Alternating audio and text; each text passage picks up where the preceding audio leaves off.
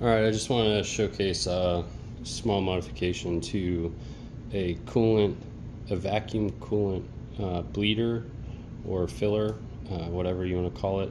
Um, this is just a generic tool on Amazon.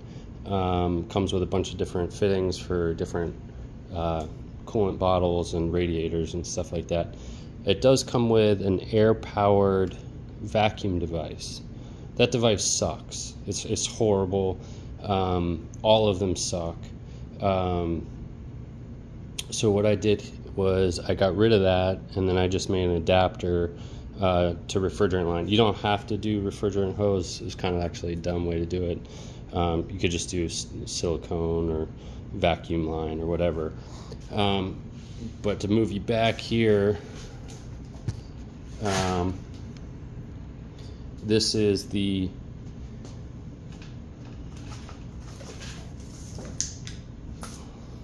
this is a basically just a a water separation chamber. And that's so I don't suck water into my vacuum pump because it'll break it. And then you have the uh, the, the fill line down to your coolant bucket whatever whatever you got. Um, and then over here this is kind of the heart of it all This is a retired vacuum pump, and uh, it's got quarter inch uh, flare and 3 8 flare fitting. That's why I went with the the refrigerant line, but I, I shouldn't have done that. Should have just did a barb, switch uh, reducer to a barb, and then did uh, clear uh, vacuum silicone line to the actual device. Um, and what that does is it allows you to have direct vacuum with no air, uh, and then that air device would get stuck sometimes, and it wouldn't pull a vacuum from the um, it wouldn't pull a vacuum from the um, coolant reservoir, especially if you were uh, doing a, a secondary vacuum. It would that device would get stuck. So this way, I can pull direct vacuum on the coolant chamber uh, in as much as I want. Um, and like I said, that's a retired vacuum pump. Vacuum pumps are super cheap on Viver Amazon. Just get a cheapy $80 whatever uh, tool, especially if you're doing this more than once.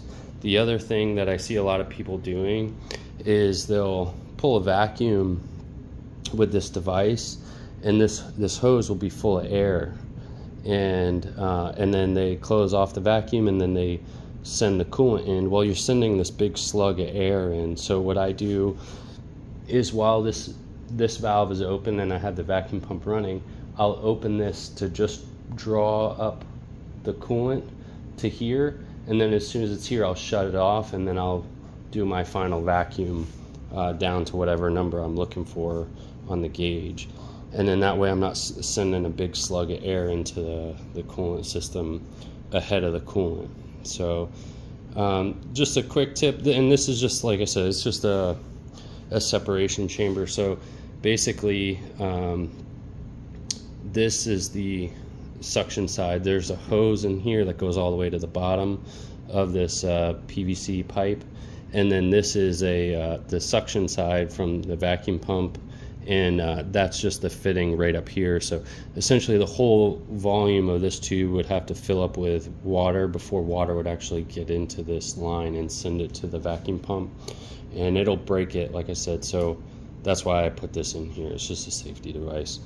Um, and you can make it however you want. Um, but other than that I hope this helps you guys. It, this is a really efficient way to bleed coolant systems and not have to babysit them and run them a bunch of different times. So I definitely like this and with this modification to the tool it works a thousand times better.